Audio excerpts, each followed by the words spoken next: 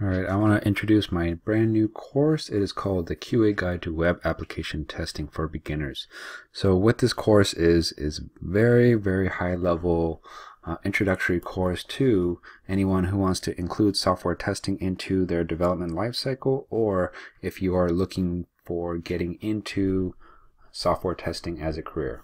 So let me quickly go over what is covered in the course. I'm going to do a brief introduction of HTML, CSS, and JavaScript because I am a strong believer that in order to test something well, you have to understand how the application works from the ground up. So that's why that's included there. If you already know these things, then you can skip on by, but uh, they're there for your reference.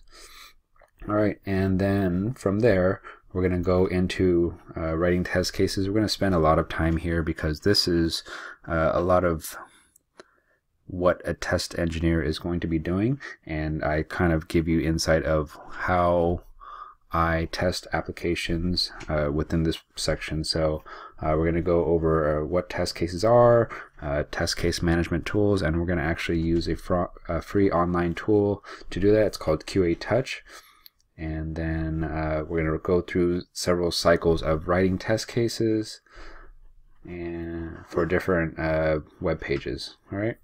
And then the next section is going to be over bugs. So uh, before we actually start doing testing of the web applications I wanted to do an overview of what bugs are or defects uh, so that you know because once you start testing you're going to find things and uh, I wanted to give you clarity on what you should do when, once you find those things.